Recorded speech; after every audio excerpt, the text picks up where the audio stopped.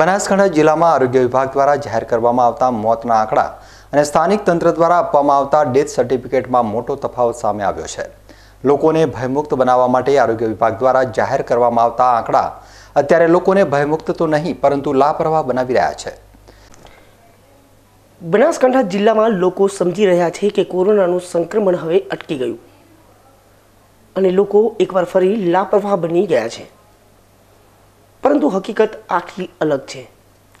જિલ્લામાં અત્યારે મ્યુકર માઇકોસિસની સાથે સાથે એકવાર ફરી કોરોના ધીમા પગલે સંક્રમણ ફેલાવી રહ્યો છે.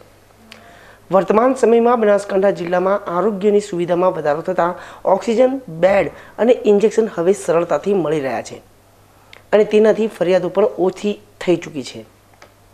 પરંતુ હકીકત કંઈક જુદી છે. બનાસકાંઠા જિલ્લામાં હજુ પણ દરરોજના સોથી વધુ કોરોના પોઝિટિવ દર્દીઓ સામે આવી રહ્યા છે. અને તેમ છતાં લોકો બેદરકાર જોવા મળી રહ્યા છે. ત્યારે આજે અમારી ટીમે બનાસકાંઠા જિલ્લામાં પહેલી એપ્રિલ બાદ થયેલા મૃત્યુના આંકડા મેળવ્યા હતા. આ આંકડા અમારા ડીસા અને ધાનેરાના સંવાદદાતા દ્વારા સ્થાનિક નગરપાલિકામાં નોંધાયેલા મૃત્યુ પ્રમાણપત્રના આધારથી મેળવ્યા છે. આ આંકડા બનાસકાંઠા જિલ્લાની વર્તમાન પરિસ્થિતિ રજૂ કરી રહ્યા છે અને ચોંકાવનારા છે. સૌપ્રથમ વાત કરીએ ડીસા નગરપાલિકાની. તો ડીસા નગરપાલિકામાં પહેલી એપ્રિલથી છવ્વીસ મે સુધી ચારસો સત્યાસી ડેથ સર્ટિફિકેટ આપવામાં આવ્યા છે. અને અત્યારે સરેરાશ દૈનિક પંદરથી વીસ ડેથ સર્ટિફિકેટ લેવા માટે લોકો આવી રહ્યા છે. જ્યારે છ મહિના પહેલાંની વાત કરવામાં આવે તો સરેરાશ દૈનિક ડેથ સર્ટિફિકેટ પાંચથી સાત આપવામાં આવતા હતા. એટલે અનુમાન લગાવી શકાય કે પહેલી એપ્રિલ બાદ કોરોનાની બીજી લહેર શરૂ થઈ, ત્યારબાદ મૃત્યુ આંકમાં ધરખમ વધારો થયો છે. અને આ મૃત્યુ આંક વધવા પાછળ કોણ જવાબદાર હોય તે સમજી શકાય છે. તો આ તરફ ધાનેરાની વાત કરવામાં આવે તો પહેલી એપ્રિલથી છવ્વીસ મે સુધીમાં નગરપાલિકા દ્વારા એકસો છન્નું ડેથ સર્ટિફિકેટ આપવામાં આવ્યા છે. ધાનેરામાં સરેરાશ બે દિવસે એક ડેથ સર્ટિફિકેટ ઇસ્યુ થતું હતું. જે અત્યારે દરરોજના લગભગ સરેરાશ પાંચ જેટલા ડેથ સર્ટિફિકેટ ઇસ્યુ કરવામાં આવી રહ્યા છે. આરોગ્ય વિભાગ કોરોનાના લીધે જિલ્લામાં બીજી લહેર દરમિયાન નોંધાયેલા મોતના આંકડા એકસો પાંચ જણાવી રહ્યું છે.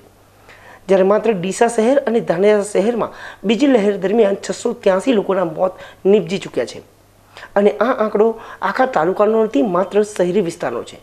ત્યારે સમગ્ર બનાસકાંઠા જિલ્લામાં કેટલા લોકોના કોરોનાના લીધે મોત થયા હશે તેનો અંદાજ લગાવી શકાય છે.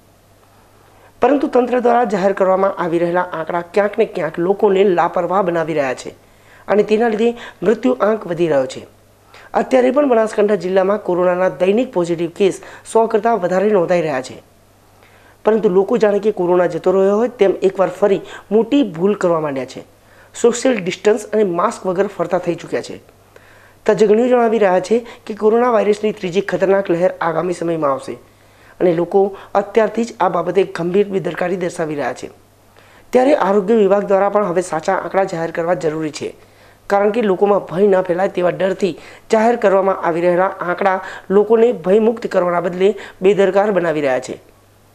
અને લોકોએ પણ અત્યારે આ બાબતે ગંભીર બનવાની જરૂર છે.